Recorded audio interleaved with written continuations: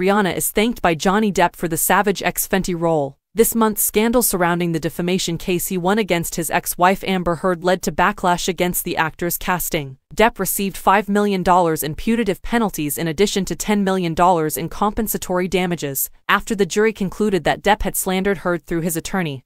Heard received a $2 million award regarding a 2018 op-ed in the Washington Post in which she discussed being a victim of domestic violence. The actor filed a defamation lawsuit against Heard. Heard avoided mentioning Depp by name in the article, but Depp's attorneys said that it inferred erroneously that he had mistreated her physically and sexually when they were married. Depp tweeted a teaser from Rihanna's lingerie fashion show movie yesterday, which was just made available on Amazon Prime Video. He expressed his gratitude to the singer for incorporating him in her endeavor. Depp has faced online harassment from some people who think that he physically and emotionally abused Heard, despite the fact that he won his defamation case against Heard this summer. Depp has consistently refuted Heard's claims, though he has acknowledged binge drinking during their relationship. Alexander, who had previously been pictured for a Savage X Fenty advertising campaign in a harness and underwear, expressed displeasure last week with the choice to cast Depp in the part. He retweeted a post regarding Depp's appearance in the show on Thursday, November 3rd and included a frown emoticon. Alexander wears the Savage X Fenty line so brilliantly, a fan retweeted that tweet. He thanked them and added, after this news, I won't be wearing it anymore, in his reply. However, numerous of Depp's other celebrities left supportive comments, including Paris Hilton, who posted an emoji of a fire. I'm so happy Rihanna is incorporating you in her show, another admirer commented.